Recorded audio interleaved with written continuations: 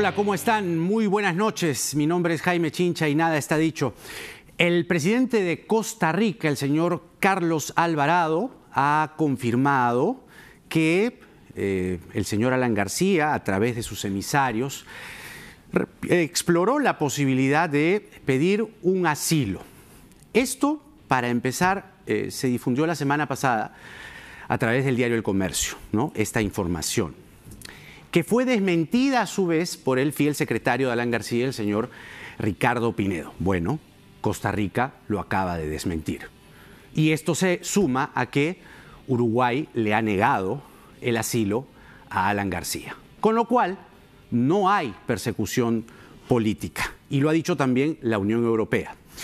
Esto entonces eh, constituye y significa que la tesis de la persecución política se ha caído. Lo que hay que hacer ahora es mirar el proceso y mirar el proceso con evidencia. ¿Qué es lo que hay en adelante en contra de Alan García, aquí, en la justicia peruana?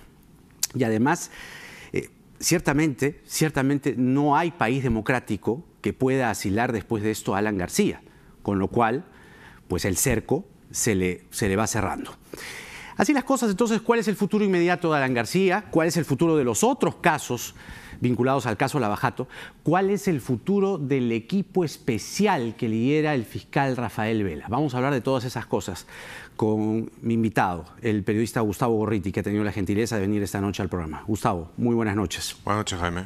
Bueno, lo último es esta fotografía, difundida a través de la cuenta de Twitter del señor Alan García y sus eh, correligionarios, sus defensores, que está con un encabezado que dice allí, fraterna reunión de análisis y política con los compañeros congresistas.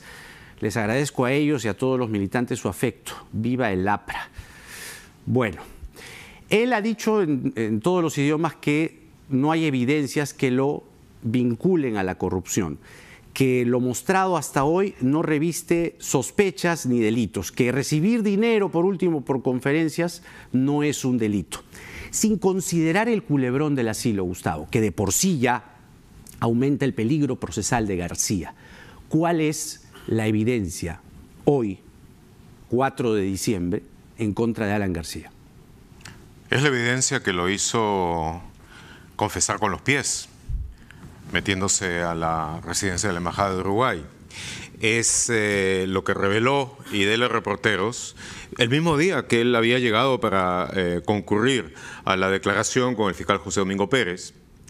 Y ahí eh, lo que sacamos fue lo que, en primer lugar, algo que ya se sabía, porque lo había dicho, porque eso era parte de, digamos, de todo el esquema, de que él había recibido por una conferencia que dio en Sao Paulo a la Federación de Industriales, digamos, la CONFIEP de Sao Paulo, que recibió 100 mil dólares por, dar esa conferencia el 25 de mayo del 2012. Todo eso, por lo que además sí fue, eh, fue una suma bancarizada, entró a su cuenta, pagó impuestos, según parece, y eh, daba toda la impresión de que era una cosa perfectamente legal. Eh, uno puede quedar en cualquier, con cualquier persona cuánto le pagan por, eh, por, decir lo que dice. Pero lo que nosotros revelamos en, esa, en, la investigación publicada eh, eh, aquel día, me parece que fue jueves, es de que la plata, la plata que se le pagó, esos 100 mil dólares, habían salido de la caja 2 del sector de operaciones estructuradas de Odebrecht. Y de que había habido un esquema para disfrazarlo. Un esquema mediante el cual un abogado, José Américo Spínola, eh, había suscrito un contrato con García como si él fuera el representante de un grupo de industriales que lo había contratado cuando era un abogado que trabajaba con el sector de operaciones estructuradas y que había sido llamado por el sector de operaciones estructuradas precisamente para hacer la cosmética de aquello. Ahora, claro, se puede decir, como dijo García, como dijeron otros, cómo va a saber García eso. sus, eh, sus conocimientos. ¿Cuánto de eso, caja 2 y esquema? Eh, me, detengo en esos, en esos dos tags. Exactamente. Caja 2 y esquema. ¿Cuánto de eso García podría haber que sabido? No sabía de que su conocimiento de parapsicología es limitado, ¿verdad? Mm. Pero eh, lo que estaba ahí claro es lo siguiente, por eso mencioné la fecha. La conferencia fue dada el 25. Mayo del 2002. mayo del 2002. Correcto. El primer contacto entre el sector de operaciones estructuradas, Caja 2, a través del seudónimo de Marcos Grillo, el encargado de generar recursos para la Caja 2, con Espínola se dio el 14 de junio. ¿Ok? Ya. Bastante después de que él hubiera hecho eso. Espínola no tenía la menor idea el 25 de mayo de que García estaba ahí en Sao Paulo para dictar la conferencia. Por primera vez se entera de eso el 14 de junio. Y después, en arreglos que están perfectamente documentados en intercambio de correos electrónicos dentro del sector de operaciones estructuradas, eventualmente le dan a García un contrato antedatado, es decir, con fecha del 5 de abril. En junio hacen un contrato, el borrador se lo pasan primero a Espínola a ver qué le parece, luego lo llevan eh, en el Perú, donde ya está García, para que lo firme con la fecha anterior. Es decir, García supo que firmó un contrato por con supuesto. fecha Por supuesto, pero lo hizo en junio. anterior. Lo hizo en junio, como si el contrato hubiera sido el 5 de abril. Y además firmó un recibo por los 100 mil dólares, como si los hubiera recibido el 24 de mayo. El recibo está firmado el 24 de mayo. Y todo esto fue a partir del 14, 15, 20 de junio. Es a comienzo de julio cuando se le hace la transferencia, se hace la transferencia a su cuenta del, eh, del Banco Continental aquí. Y él sabía todo eso. Pero lo más importante de todo, él puede decir, naturalmente, antes uno puede arreglar documentos, etcétera. Pero él no conocía a Espínola. Él no había hablado con Espínola en el momento en que llega a Brasil. No había habido cosa alguna de contrato y varias de las condiciones que están supuestamente en eso es como si hubieran hablado, si hubieran, si hubieran negociado. Es decir, se lo contrata a Espínola, este abogado externo, pero que trabajaba estrechísimamente con, la, con el sector de operaciones estructuradas, con la Caja 2, hasta el punto que tenía acceso al sistema Drowsys, hasta el punto que tenía un, un- un codinome, o sea, un seudónimo, Joe, este, y, y se le pide para que él disfrace ese pago que se lo está haciendo el sector de operaciones. Y García fue consciente de todo eso en todo momento. Bueno, mira, habíamos hablado de parapsicología, aquí no se necesita ninguna. Si tú ya en junio te dicen de que vas a firmar un contrato con alguien que no conocías en el momento que fuiste a dar la conferencia y, y- hablar, y de que lo van a hacer antedatado para que parezca que sí se conocían, ¿no es cierto? Y que, y que además hay funcionarios de Odebrecht que te van a buscar para que firmes el contrato, porque son personas de los que mandan la copia del contrato a través del sistema Drowsys, son gente que tiene un codinome de, de, de Odebrecht, son parte del- de la compañía y están trabajando con el sector de operaciones estructuradas. Entonces, es virtualmente imposible que él no haya sabido que estaban haciendo un arreglo para presentar el pago en la forma que lo presentaron. Claro, por lo menos hasta ahí lo que se levantan son claras sospechas de que algo amañado hubo. Bueno, yo creo que son más que sospechas, es, eh, son, son indicios muy fuertes que indican de que se hizo un arreglo posterior con conocimiento de que se estaba disfrazando la, la- la fuente de pago. Pero de ahí a que García sepa que era un dinero ilícito, porque eso es lo que él dice, ¿no? A mí me pagaron por la conferencia, yo di mi conferencia, bueno, 100 mil dólares ya de por sí es un, un monto, digamos, bastante elevado, ¿no? Pero Pues digamos que... eh, ¿Cuánto, es- digamos? sí, de que eso puede estar dentro de los rangos de la libre contratación. a eso voy. Yo no veo para 5 millones de dólares Claro, por, por- por- así es. por hablar 15 minutos. así, ahí el tonto Sí. que paga pues, 5 millones de dólares, ¿no? Exactamente. Pero, pero, pero no, en este caso en concreto, si él le dicen que firme un contrato con alguien que no conocía Claro. en el momento en que habló, si le dicen que lo van a arreglar todo de esa manera, él lo que tiene que haber presupuesto, viendo quién lo estaba arreglando y cómo, es de que era Odebrecht la que estaba haciendo el pago. Y tenía que pensar de que eso no iba a dejar, eh, que eso no iba a dejar rastros, toda vez de que lo que pasaba por el sistema tributario brasileño, entraba al sistema bancario peruano, era como que Spínola estuviera haciendo el pago. Claro.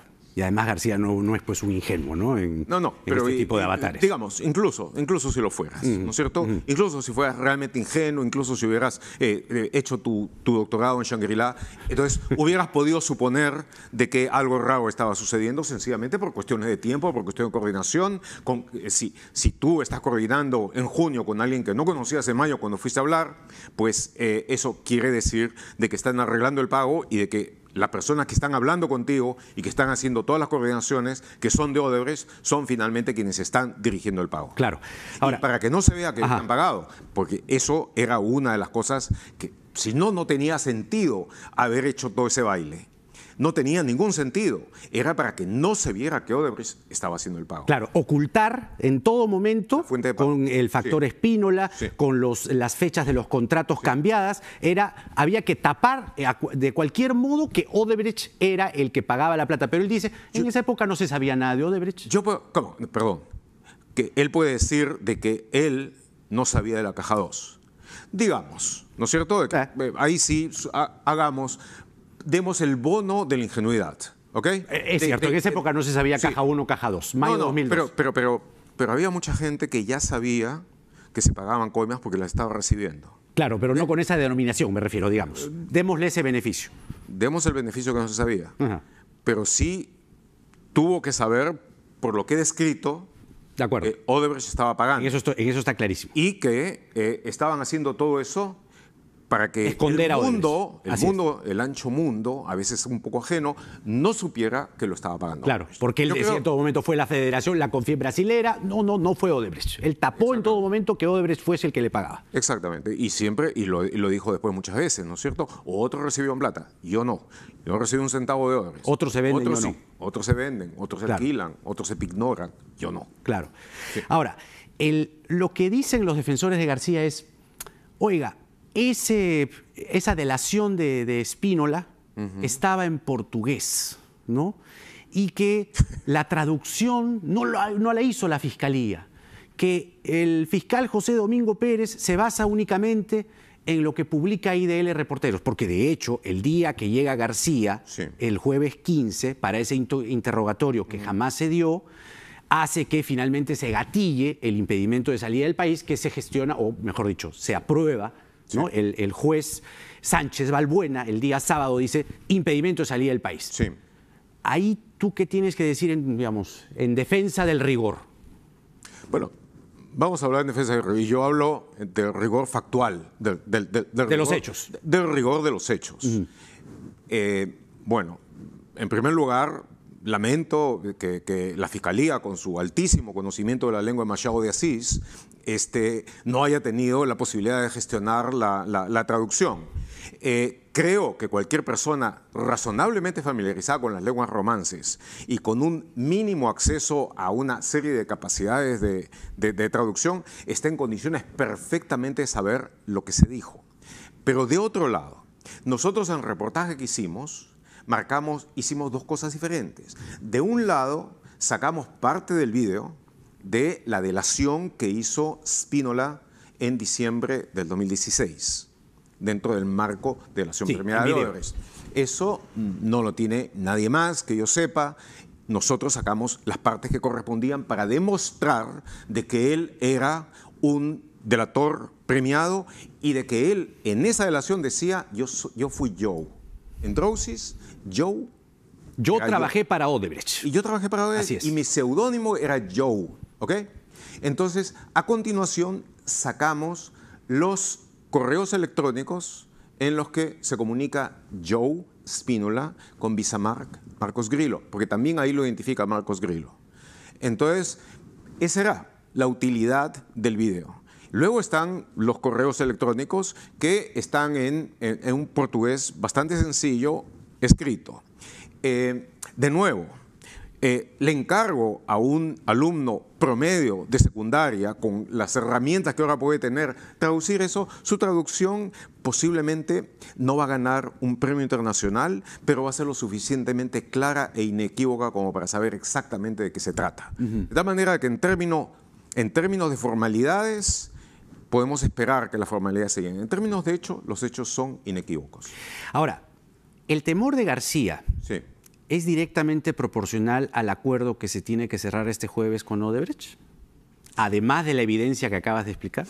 Bueno, hay una cosa, él no conocía la evidencia, recuerda que eh, apenas llegó y el momento en que estaba por, dar la charla, mencionó las cosas que me habían dicho, y entonces digo algo así como, pruébamelo pues imbécil. ¿no Demuéstrenlo pues imbécil. Sí, entonces, bueno, ok, se le probó, pues, ¿no? Eh, se le probó, pues, ahí, en ese mismo día. Eh, no, o sea, responder un epíteto con otro epíteto se podría, pero no es tan elegante, ¿no? Entonces, este, se le probó ese mismo día. Y él, eh, como resultado de eso, el juez, el juez eh, le dio impedimento de salida por 18 meses. Él dijo esa tarde, creo que podemos recordar, de que se iba a quedar, de que estaba feliz de eh, pasar. Que no era una deshonra quedarse aquí no, 18 no, en meses. patria, ¿cómo, ¿cómo iba a ser una deshonra y todo eso? Y en la noche, de nuevo, confesó con los pies y se fue a la embajada, a la residencia de la embajada de Uruguay. Escapó, con lo que quedó dicho de que eso de que no era una deshonra era una mera estratagema para confundir a la gente mientras él se las picaba. Ahora bien, no salió, no salió y ya eh, ha tenido que eh, regresar a su casa y entonces ahora se puede, la fiscalía podrá seguir con el proceso investigativo y ahora viene lo que tú habías preguntado, la firma del acuerdo. Correcto. La firma del acuerdo. El jueves. Eh, va a ser un, un momento de inmensa importancia porque establece compromiso de la corporación Odebrecht de abrir toda su información, sin edie, sin fecha, a perpetuidad, a la investigación de las autoridades peruanas. Y la importancia que tiene, ¿por qué? Porque aparte de lo que hayan podido recordar algunos los otros y hayan eventualmente dosificado, esperando que se llegue a un acuerdo, la información que hay en los servidores del Departamento de Operaciones Estructuradas, que ahora están en Brasil, y al que tienen acceso la Procuraduría, la Policía Federal y funcionarios de Odebrecht, tiene una cantidad grande de terabytes de información. Y eso requiere un proceso constante de búsqueda, un proceso constante de exploración, sobre la base de lo dicho, sobre la base de lo revelado, se plantean nuevos requerimientos de búsqueda con filtros a veces muy sofisticados para poder llegar al dato preciso. Ese dato tiene que ser luego correlacionado por gente que de una u otra manera estuvo eh, relacionada con esa operación y entonces eventualmente emerge la verdad completa, una reconstrucción de lo que pasó en su momento. Y ahora sí, con eso hay el compromiso de colaborar cuantas veces sea necesario, a lo largo del tiempo, cuantas veces se le pida, sin omisión y sin, eh, sin ocultar y sin omitir nada, no solamente bajo los problemas que pueden tener la ley peruana, sino en la ley brasileña. Los defensores de García, los defensores de Keiko, sostienen que ese es un acuerdo deshonroso, porque Odebrecht se va a llevar dinero de aquí y que cómo es posible que se le permita pagar a Odebrecht y con estas medias verdades que, se, que inundan las redes sociales y que no se debería firmar ese acuerdo. ¿Qué piensas tú? Bueno, primero, eh, eh, digamos, la mayor parte, puede que haya una o dos personas bien intencionadas dentro de esto, pero eh, la mayor parte son comentarios desvergonzados, eh, hechos en muchas ocasiones por gente que tuvo participación en darle sobrecostos astronómicos en su momento a las obras o por alguna gente que también puede haber intervenido en los arbitrajes en los que eh, el Odebrecht de esa época, el Odebrecht absolutamente corrupto, ganaba invariablemente todo. Entonces, debieron haberse preocupado por los intereses del país cuando se corrompieron y cuando permitieron que hubiera todo eso. Ahora, Odebrecht va a pagar una cantidad que no, que, no es poca, que comparativamente incluso va a ser superior a la de Estados Unidos, eh, como, eh, como, como indemnización, pero a la vez, lo más importante de todo, va a dar el valor entero de la información que va a permitir descubrir una serie de casos que están todavía ocultos, que va además a poner a otras compañías en la necesidad de confesar a su vez y que en consecuencia puede convertirse en el instrumento que abre una cadena de confesiones y revelaciones que permita reconstruir toda la geografía de la cutra peruana en los últimos 20 años, o por lo menos hasta el, hasta el 2015, cuando estalló este caso.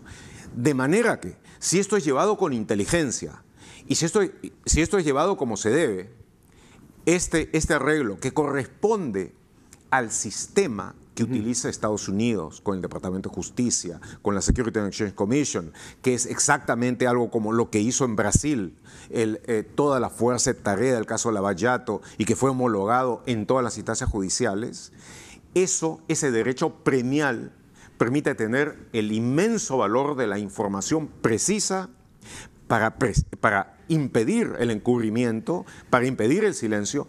Y claro, es deshonroso para los que se han ganado la deshonra, porque muchos de ellos van a salir posteriormente a la luz. Has dicho dos cosas que me quiero sujetar de esas dos cosas, para ver el bosque. Has dicho Estados Unidos sí. y has dicho socios. Y lo que creo que a mucha gente, más allá de los interesados, a mucha gente lo que le preocupa y está sumamente fijada en eso, es que caigan no solo una o dos corrupciones, que caigan todos. Sí, claro. Quiere decir entonces que con el acuerdo de este jueves es posible, o más que seguro, que las investigaciones truncadas en este momento a Toledo, a Susana Villarán, a Ollanta Humala, a Pedro Pablo Kuczynski, para equiparar el asunto con Keiko y Alan, que están en una situación bastante, bastante complicada, pueda finalmente tener buen puerto?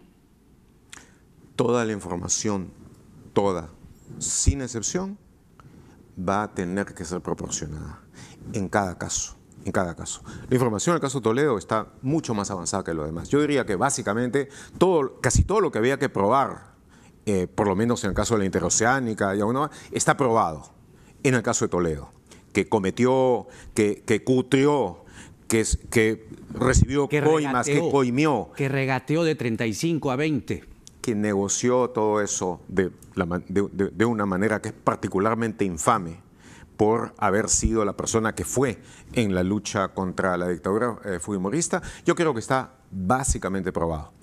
Pero lo que pueda haber en otros casos, lo que pueda haber en otros contratos, lo que pueda terminar de cerrar el caso, por supuesto que sí, y en todos los otros que he mencionado, Villarán, Humala, etc. Ahora, la, la ha habido, se ha, habido una cierta concentración en estos tiempos, en el caso de eh, Keiko Fujimori y en el de Alan García, porque si recordamos mínimamente, ellos no habían sido tocados en absoluto antes, ¿no? Claro. Ahora, justamente, eh, esa concentración en los casos Keiko y García resultan necesarias por la evidencia que ha aparecido. Pero, porque antes no se los tocaba. Porque nunca se nada, los tocó. En nada, mira lo, último. Porque nunca se los tocó. Y míralo el informe de la, de, la comisión de, Bartra. Claro. ¿No es cierto? No, pues eso es una risa. Bueno, eso entonces es una risa. no se los tocaba. Claro. Ni, ni con el pétalo, ni con el sépalo, ni con el pistilo, ni con nada, ¿no es cierto? Así es. De una rosa. Entonces, de una rosa Bartra. Pero este, eh, eso no se hizo. Estas cosas han cambiado la cantidad de información que ha llegado, la investigación que ha realizado el equipo especial en el caso de Keiko Fujimori ha permitido que ahí donde se conocía muy poco se haya terminado conociendo muchísimo, muchísimo, y de que haya salido toda luz y que finalmente el último refugio de Yoshiyama sea el, el muertismo, un muerto, ¿cierto? Que supuestamente le había entregado todo, pero de que ha habido, lo que no pueden negar en absoluto es que haya habido el masivo lavado de dinero que se dio de los cientos de miles de dólares que fueron acordados. Y ahora, el caso de García abre nuevas, nuevas cosas. Lo único que ha hecho esto es finalmente nivelar la investigación para que puedan estar comprometidos todos los que deben estar y desgraciadamente son muchos. Me preocupa el equipo especial del doctor Vela. Constantemente recibo información, tú debes tener muchísima más información, de que hay un hostigamiento. De hecho, de hecho, hay ya una, una investigación abierta a José Domingo Pérez porque la Fiscalía de la Nación de Chávarri le achaca a él haber filtrado un diálogo con Chávarri, que es el interrogatorio del otro día, en el cual Chávarri no dice absolutamente nada. Es decir, Chávarri dice, no lo conozco, no los conozco, no sé, no tengo idea. Siguiente pregunta. Es decir, le están achacando eso a José Domingo Pérez. Y acaba de aparecer hoy otra investigación a José Domingo Pérez y a Juárez Atoche. De la misma fiscal, de la misma fiscal. Correcto. O un día de por medio. entonces, un día de por medio. ¿cuál es de todo lo que estamos hablando, ¿ah? mira qué importante, lo del jueves, lo que va a pasar en adelante, los corruptos que se beneficiaron con dinero uso de Odebrecht, el futuro inmediato. ¿Cuál es entonces en ese contexto el riesgo real que corre el equipo del doctor Vela? Yo, eso es de inmensa, vital importancia. Y creo que eso es algo que, la gente, que el público debiera tener lo más, claro posible. Se ha avanzado a través del equipo especial en estas semanas, en estos meses, realmente como no se lo había hecho en absoluto hasta ahora. Se ha logrado muchísimo. Eh, debo decir de que algunas de las cosas han provenido de lo que el periodismo de investigación avanzó y otras cosas han provenido de la propia agencia de la energía con la que ellos y han en buena hora trabajado. que el periodismo de investigación colabore. Yo no entiendo a la gente que dice por qué IDL colabora, por qué, porque justamente se trata de eso, de construir una mejor sociedad con buena información. Además, digamos, nosotros colaboramos públicamente, dando la información para que todo el mundo la tenga, dando información que el- la gente, el pueblo necesita, les damos el poder de la información y la Fiscalía lo toma como un hecho noticioso, como fue en el caso de García, y, e inmediatamente lo investiga. Pero bueno, lo que quiero decir, se ha avanzado como nunca. Con el, con el inminente acuerdo existe la posibilidad de que llegue una cantidad muy importante, quizá decisiva para varios casos, de información, muy importante. Entonces, eso que iba a darse este mes, por diversas cosas, entre otras porque la parte internacional, los que manejan la relación internacional de la Fiscalía, retardaron varias cosas, incluso no hicieron posible que se realizara un interrogatorio previo en el que iba a estar Luis Eduardo dos Santos, persona clave de- del sector de operaciones estructuradas, eso ha tenido que pasar a enero a enero. Lo que sí va a hacer ahora, el interrogatorio donde va a participar finalmente Barata, luego de los términos del acuerdo, donde va a haber una serie de confesiones importantísimas, se ha tenido que reprogramar para enero. Pero ahora, con el fiscal de la Nación y dos fiscales supremos más por lo menos de cinco que hay en la Junta de Fiscales Supremos, que tienen problemas a su turno de estar investigados por otros casos, caso de los eh, cuellos blancos, Cuellos blancos del puerto. de los cuellos blancos, los hermanitos o como lo quieras llamar, etc. y que hay ahora eso ha establecido una campaña dura desde la Fiscalía, desde el tope de la Fiscalía de la Nación, desde el fiscal de la Nación, primero contra las fiscales eh, eh, Sandra Castro y eh, Rocío Sánchez, que llevan a cabo esta investigación. Una fuerte ofensiva en contra de ellas. además. Y del otro lado, también contra el equipo especial. Y existe entonces, ahora ha habido recientemente un intercambio muy duro entre Rafael Vela, el, el- el muy notable fiscal superior del equipo especial, El jefe del equipo especial. y Alonso Peña Cabrea, que es el que dirige la Unidad de Cooperación Internacional y que, aunque estaba antes separado de, de, de Chávarri, ahora se ha unido mucho a él. En donde hay una posición claramente hostil en contra de lo que está haciendo el equipo especial. Y desgraciadamente existe la posibilidad, porque finalmente Chávarri es fiscal de la Nación, de que él, sobre todo aprovechando la fiesta de fin de año, separe al fiscal Vela o pueda separar tam- eh, también al fiscal José Domingo Pérez de la investigación, poner a otros alegar necesidad de servicio, cualquiera de las, de las cosas que se dicen en las burocracias, y en lo esencial, y en lo esencial, matar la investigación y hacer de que ella entre en el terreno de lo secreto, de lo reservado y que dentro de lo secreto y lo reservado empiece a haber cosas como la que hemos visto en el caso de la investigación de eh, la Comisión Lavallato con, con Rosa Bartra. La investigación totalmente selectiva, totalmente dirigida hacia, totalmente dirigida hacia un lado. Ese es un peligro real y verdadero. Y después de todo lo que se ha avanzado, significaría la posibilidad de perder finalmente lo más, la más importante batalla contra la corrupción. Yo creo de que la reacción de indignación que habría ante eso sería muy grande. Me imagino de que lo que están pensando, o algunos de ellos, es de que las fiestas de Navidad les van a dar el parachoque, el colchón suficiente Claro, que todo el mundo esté adormecido. como ¿no? para amortiguar esa indignación. Pero sí quiero decir de que ese peligro existe, tenemos información importante en ese sentido de que se disponen a hacer eso, de que hay la intención de hacerlo y que lo único que va a poder prevenirlo es eh, eventualmente la presión social que haya al respecto. Esto que estamos haciendo en este momento es prevenir que Vela no caiga, que el equipo especial no caiga, no porque sea Vela, no porque nos guste Vela, no. Es porque aquí, en este momento, aquí y ahora, hay una investigación y hay abundante información que el jueves tiene que acordarse. Ahora, el, tema, el tema de Chavarri resulta preocupante, porque acá no hay nada personal, acá es la institución que hay que cuidarla y cautelarla, y sobre todo por lo que está en juego. En teoría lo que se conocía a través de la botica y las informaciones de algunos colaboradores era que el Fujimorismo sostenía a Chávarri, sostiene, sostiene, con los rezagos de hoy, ¿no? Y lo sostiene. Aleteando y lo sostiene. Pero ¿cuál es la fuerza real que tiene en este momento el Fujimorismo y cómo equilibrar ahí? En un, instante viene Gino Costa, le voy a preguntar también sobre el tema. Pero ahí ya es un tema de fuerzas políticas, es decir, ¿Qué depende allí para que el señor Chávarri deje la Fiscalía de la Nación? Es un tema de tiempo, de tiempos. Esto, la subcomisión de acusación Que lo pone en la cola. El, congresista Segura, eh, que fuimos, de los fuimoristas que quedan, dijo de que no, de que había una larga cola y de que a él no, nadie lo presionaba. Y que cuanto más lo presionaba, más terco se ponía. Como ya va a cerrar la legislatura, esto va hasta marzo donde seguramente si él está todavía y si no han tenido más deserciones y más fracturas y no se les ha licuado la, bancada, todavía va a poder seguir esto.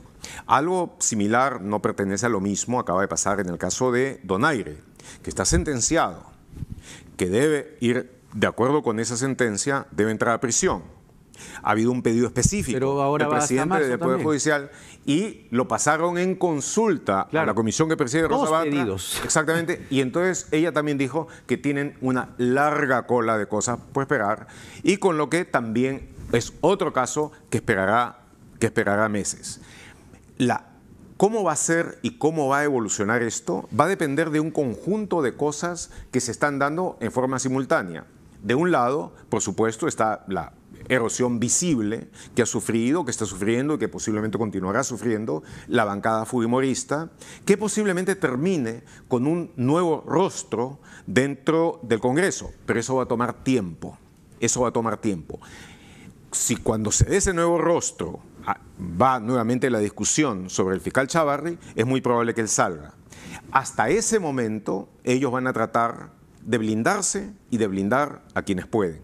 Y es entonces por eso que el peligro que hay para el equipo especial, para José Domingo Pérez, para Rafael Vela, para los otros fiscales que están en eso, es ahora, es ahora. Sobre todo entre diciembre y enero. Luego del 15 de enero va a haber una serie de confesiones en Brasil que van a cambiar por completo el cuadro de lo que se conoce, hasta donde puedo saber o suponer, y entonces ya los blindajes van a ser mucho, pero mucho más difíciles. ¿De qué clase de, de, confesiones, delaciones estás hablando del 15 de enero en Brasil? Entre, entre otros va a hablar Barata. ¿Ya? Y Barata ha dosificado lo que ha dicho hasta ahora. Es evidente que ha dosificado lo que ha dicho. Ahora va a tener la obligación absoluta de decir absolutamente todo. Porque además, e, ese es un tema importantísimo que yo creo que hay que machacar y repetir todo el mundo dice, o bueno, los implicados y los defensores de, los implicados, ¿no? Dicen, este, barata miente. Barata, si miente, se le cae la colaboración. ¿No es así? Es decir, sería un tonto. Si lo encuentran con una mentira o con una omisión importante. ¿Mentira o omisión? no solamente se, sí, sí, omisión importante, no solamente se le cae en la colaboración en Perú, lo importante es que se le cae la colaboración en Brasil. Y en Brasil tiene una colaboración eh, en términos mucho más generosos que acá, que eh, básicamente le van a permitir, su vida empresarial terminó, pero tener la vida de un ciudadano que luego de pasar un periodo de detención domiciliaria y, una, y, otros sistemas de restricción, eventualmente va a poder regresar esto. Si, si pierde eso, va a la cárcel por muchos años. Por muchos años. Ergo no puede mentir ni omitir nada. Ergo, si lo hace es bajo un riesgo suicida en su caso y no lo va a hacer. Porque además, porque además hay otro factor importante. Buena parte de esta gente, y Barata es según parece uno de ellos, tiene una lealtad disciplinada a Odebrecht. Tanto cuando era la, nave insignia de, las fuerzas oscuras, como incluso ahora que ha hecho todo un cambio eh, corporativo, ha, hecho, eh, ha puesto gente nueva, está con una cuestión de monitoreo, compliance, cumplimiento, etcétera, y que ahora busca ser más bien un modelo de integridad. Ahí hay disciplina y la posición ahora de la compañía es la colaboración al 100% a partir del momento que sea esto. Entonces, tanto él como varios otros que no han hablado todavía. Varios otros. Reinaldo Trindade, pues, Trindade Serra, por ejemplo, que es una persona que conoce mucho, van a hablar. Y lo más importante de todo, otras compañías muy importantes que han estado acá, Camargo Correa, Andrade Gutiérrez, OAS, Quero Galbao, van a tener... ¿Qué todo, tal Huayco? Sí, van a tener todos los alicientes, los estímulos como para, como para hablar. Eh, y de repente a Graña y Montero, por ejemplo, también se le ocurre, también se porque ellos han hecho, han iniciado un proceso de, de nuevo, lo que los gringos llaman compliance, cumplimiento, reformas dirigidas a, a tener una empresa más íntegra. Pero se han olvidado el primer paso, que es la confesión. Eso, eso, eso quería decirte, porque se ha construido ¿no? el discurso con, entre fake news, verdades a medias ¿no? y testimonios de parte, de que aquí existe una justicia desigual. ¿ya? El otro día en CADE hablaba con José Ugas y me decía algo bien interesante. Y estábamos recordando la época en la que él fue procurador anticorrupción, muy notable por cierto, cuando cayó el Fujimorato, cayó el montesinismo y él inició esta lucha contra la corrupción. Y él me decía que lo que quizá debió hacer el equipo especial era salir cada 20 días en conferencia de prensa y dar reportes, ¿no? concretos de cada caso. En fin, es lo que opina UAS. Pero pensaba o recordaba esa reflexión de UAS de la semana pasada.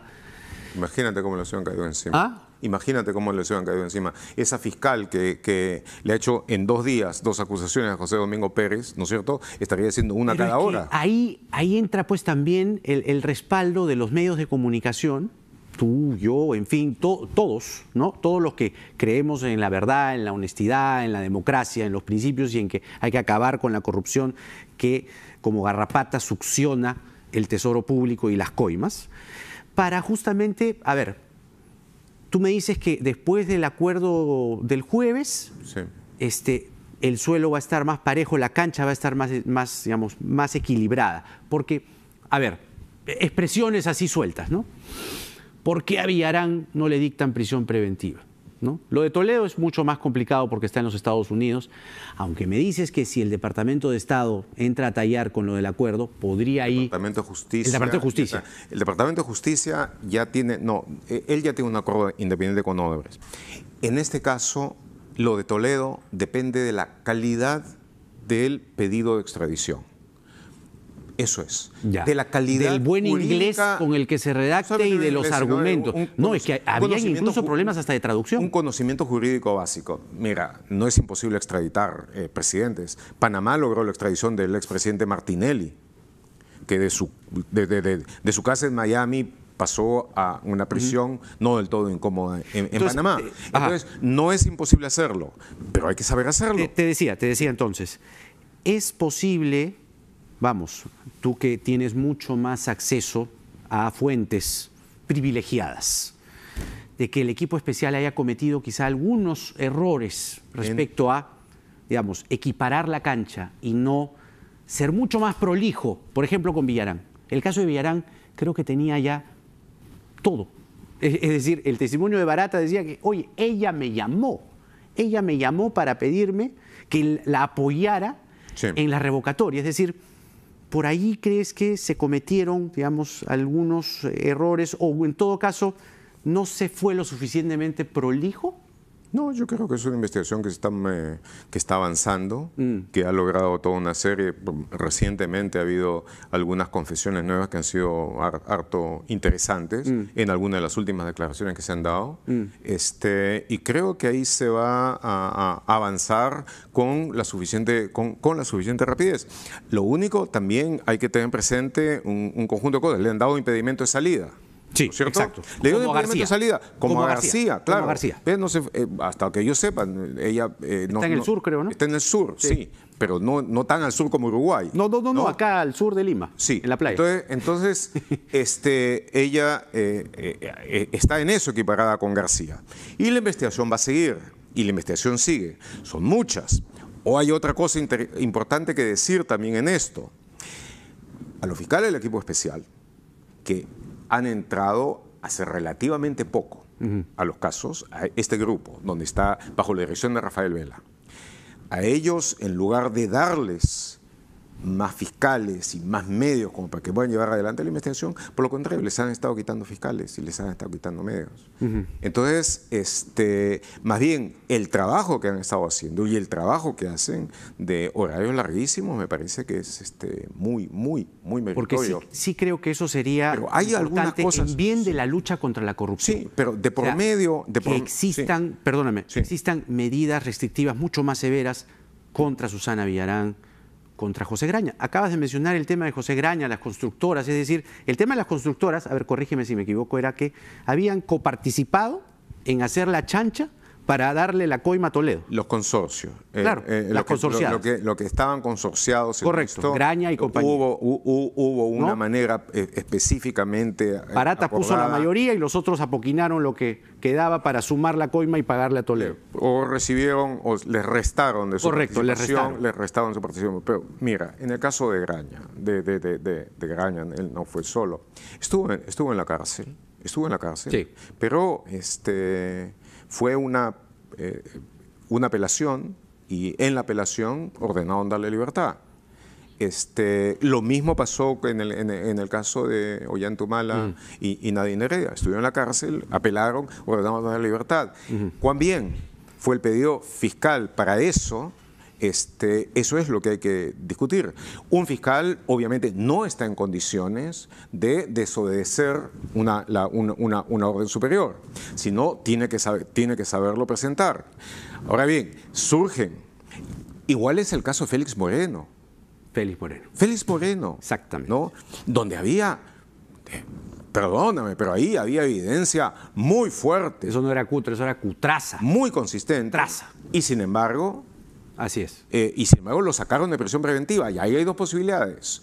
O una interpretación totalmente sesgada de la autoridad judicial en ese caso, o el hecho de que estuvo mal eh, presentada y mal fundamentado el pedido de prisión preventiva. Entendamos que la prisión preventiva no es una medida que se aplica eh, en forma uniforme, se aplica por algunas razones muy específicas, entre ellas el riesgo de obstrucción de la justicia Y el peligro procesal. el peligro procesal y la- el peligro de fuga. Así es. El peligro de fuga, ¿no es cierto? Como quererse, como quererse ir o, o al norte o a Centroamérica, Así a- o al sur o a Centroamérica. Entonces, O al oriente. exactamente, ahí se aplica la posibilidad de hacerlo. No en todo caso. La restricción más común en estos casos es eh, el impedimento de salida del país mientras dura la investigación y si no hay otras razones. En el caso de Moreno, a mi entender, dada la situación del Callao, pues había algunas razones importantes. Sin embargo, ahorita volverle a pedir, volverle a pedir una presión preventiva sería solamente si hay hechos nuevos. Gustavo, te agradezco mucho y quiero públicamente felicitarte por lo que has hecho este, como periodista, como ciudadano. Creo que el trabajo que has hecho este año es sin duda capital y crucial y marca un parteaguas en la lucha contra la corrupción en los últimos, ¿qué? 18, 19 años. De lo último, el último antecedente fue la caída del Fujimorato. De verdad que gracias. Gracias a ti, Jaime. Y, y, de nuevo, acepto, me siento muy honrado por ello. Y por supuesto, es un agradecimiento que es eh, eh, compartido totalmente por los eh, periodistas de y de los reporteros, que es un grupo pequeño, joven, pero extraordinario. Y mi, fel- me- mi felicitación también para ellos. ¿ah? Gracias. Gustavo Borriti, aquí en Nada está dicho, hemos hablado, uf, largo, y creo que era necesario. Viene la pausa, viene a continuación el congresista Gino Costa. Nada está dicho, venimos.